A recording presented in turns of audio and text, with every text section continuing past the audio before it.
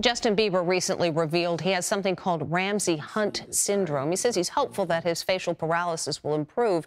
We spoke with an expert about the ailment.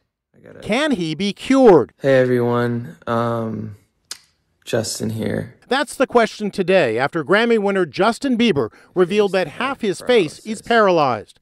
As you can see, this eye is not blinking. I can't smile on this side of my face. This nostril will not move. So there's full paralysis in this side of my face. Bieber announced that he's postponing his North America World Justice Tour after being diagnosed with Ramsay Hunt syndrome. This is pretty serious, as you can see.